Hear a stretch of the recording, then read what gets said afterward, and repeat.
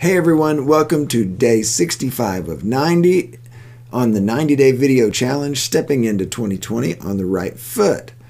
So, today was a long day. We've literally just got home. It's like 10 o'clock. What made it such a long day for you? Well, because I was stuck at work longer than I needed to be today. Yeah. And then you came straight home.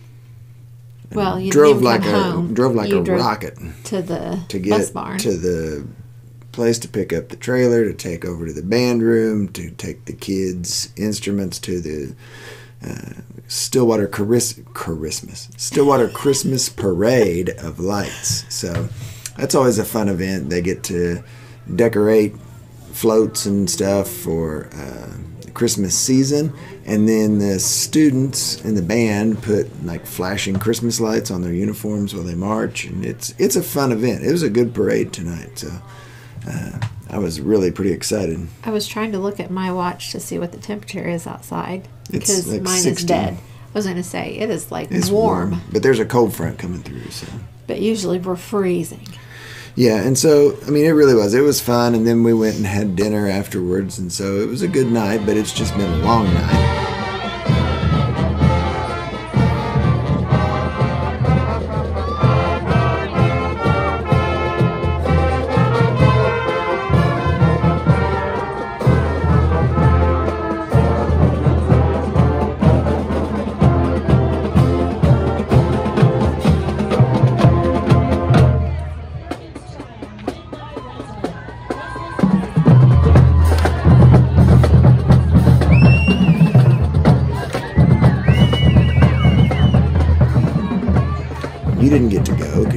At an ag booster meeting. Yeah. So And then I met them for dinner. And now we're back at the house and we're trying to get everybody to do the things they need to do because Lauren and I leave at three in the morning to catch plane. and these kids just don't want to do what you ask them to do sometimes. They're lollygagging. So, anyway, so last night we talked about double circle, and it was interesting. The the verse that he used, Matthew seventeen twenty one, out of the King James version.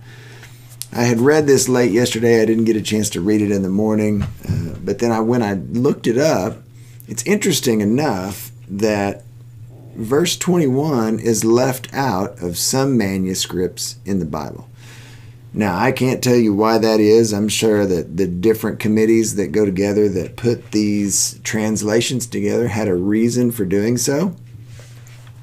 I find it interesting that it says that, you know, it follows in 1720, God's talking about, or Jesus talks about, if you have the faith of a mustard seed, you can tell this mountain to move from here to there. And then verse 21, which is omitted in some manuscripts, says that you can only do that by fasting and praying. Yeah, and on all of the ones that I saw where it was omitted, it it references that it goes coincides with Mark 9:29 where it says Jesus replied, "This kind can be cast out only by prayer." So, So, interesting tidbit about last night uh, and the day 27. The day 28 today is quit praying. Hmm, why would we have to quit praying? The verse is Matthew 25 23. Well done, good and faithful servant. So, why would we have to quit praying? Well, this was something that really hit us whenever we were at Elevation over the summer. It is talking about quit praying. If God's not going to do for you what you can do for you, and only He can do for you what you can't do for you.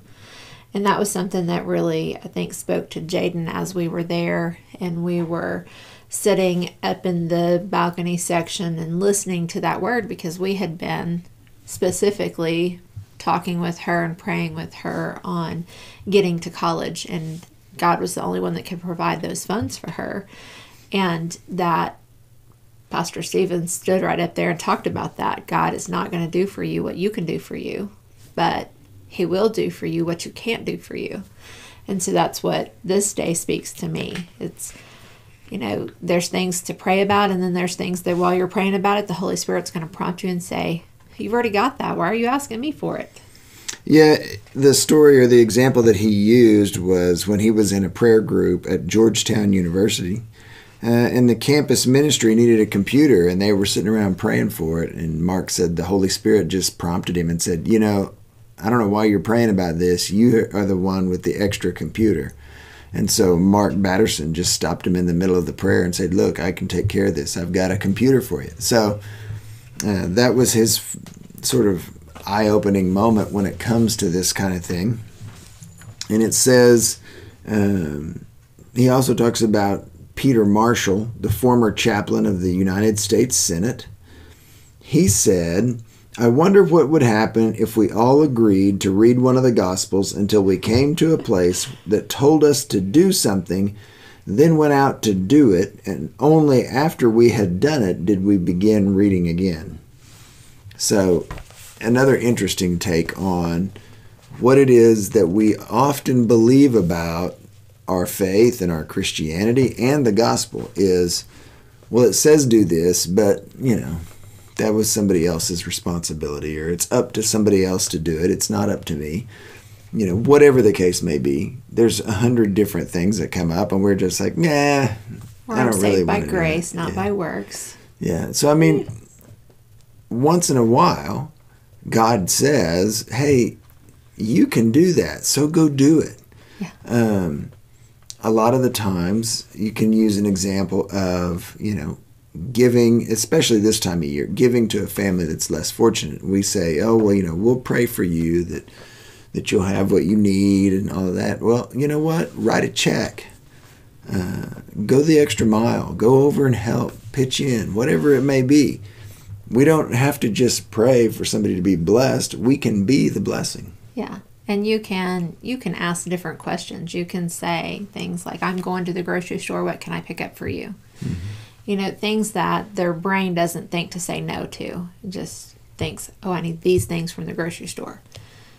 There's ways that you're able to be a blessing and in return you're blessed.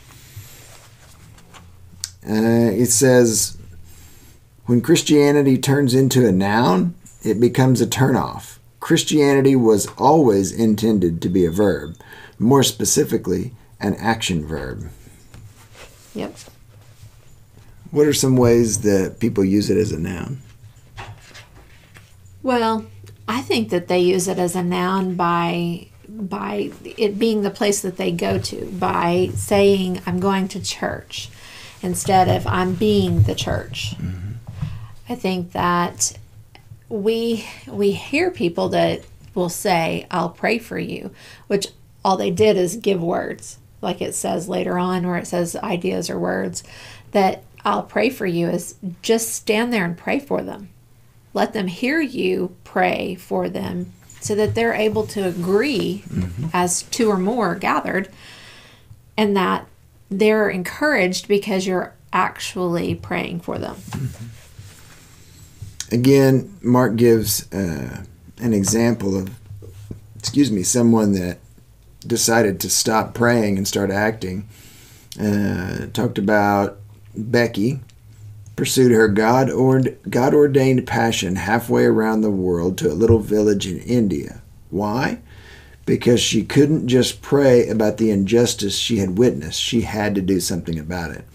And it talks about her story, and her parents were like, "Oh, don't go, don't go, don't, you know, it's it's too much." And she went anyway, and she followed God's passion and went over and, and did what she could do to try and rescue young girls and women who had been in sex trafficking. And so she, you know, in her mind may not have done much, but what she was able to do was to help connect them with their Savior. So she acted, she didn't just pray. It says, when everything is said and done, God won't say, Well said, good and faithful servant. He won't say, Well thought, well planned, or even well prayed. There is only one commendation he will give Well done, good and faithful servant. And the thought for the day is don't just pray about it, do something about it.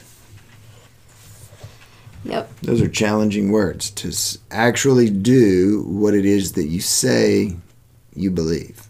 Yeah. And the Holy Spirit is going to move you in a unique way, maybe even unique from your spouse or your friends. That there is a um, there is a need that you're meant to fulfill in somebody's story. Whether that is like we went and did a pattern cutting party whenever Rockford lost 100 pounds or so.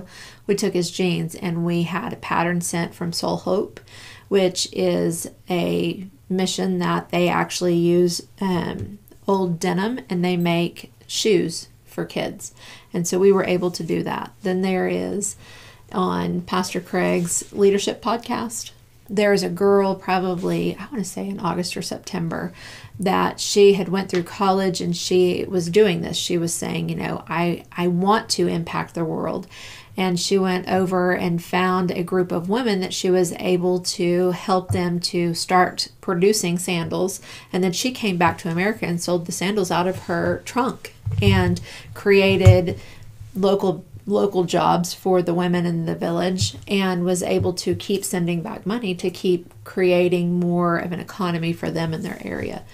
So there is something that the Holy Spirit will stir in you and you will you'll know because it's a burden. You'll say I got to do something about that. And whenever that happens, that's where your feet hit the ground and you're either going to keep praying about it or you're going to do something about it. Yeah, exactly. Don't just pray about it, do something about it.